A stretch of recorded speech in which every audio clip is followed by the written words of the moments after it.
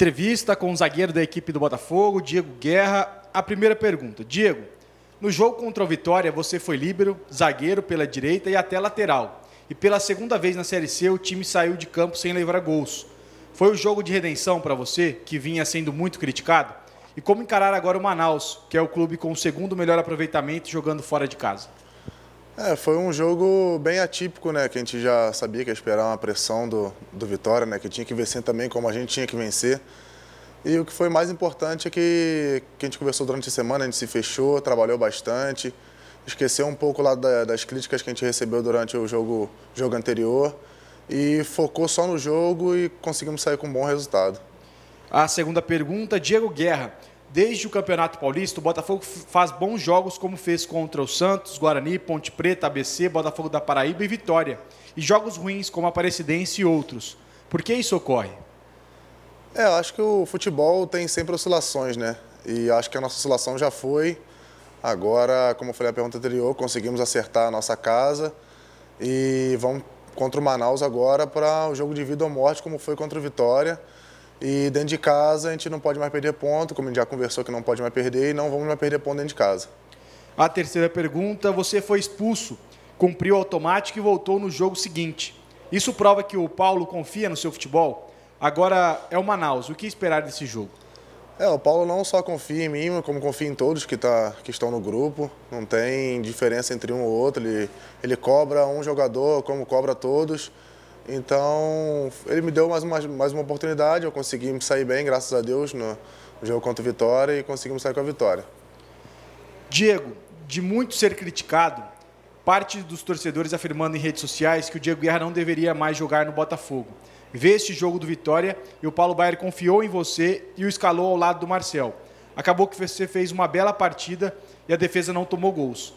O companheiro de zaga interfere no rendimento do parceiro?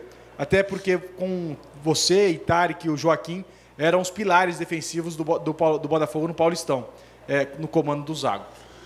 As críticas fazem parte do futebol, não tem como a gente esconder as críticas. Né? Às vezes, algumas críticas a gente para, analisa, às vezes a gente está errando alguma coisa para tentar corrigir. E no meu caso, a da expulsão, como a gente já conversou de outras vezes, foi meio que injusta, né? Mas teve que, tive que cumprir. Felizmente o time perdeu dentro de casa, voltei, o time ganhou.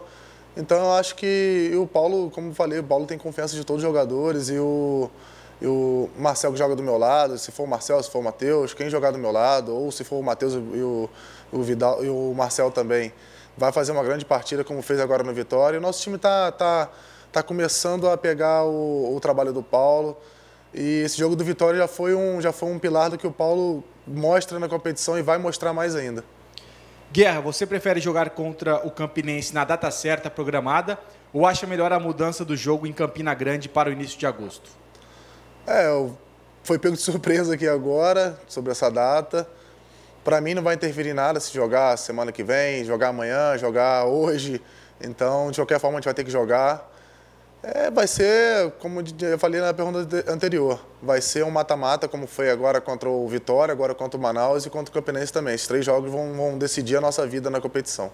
A última pergunta para você, Guerra. Após a vitória contra o Vitória, o, o técnico Paulo Baier afirmou que o Paulo Pelaipe tinha trabalhado bem nos vestiários na semana passada. O que o Pelaipe fez de novo e que tipo de mudança foi feita? É, o Pelaipe procura conversar sempre com a gente, né? Dar uma orientação ou outra também, que ele trabalha no futebol há 20, 30, 40 anos, não sei.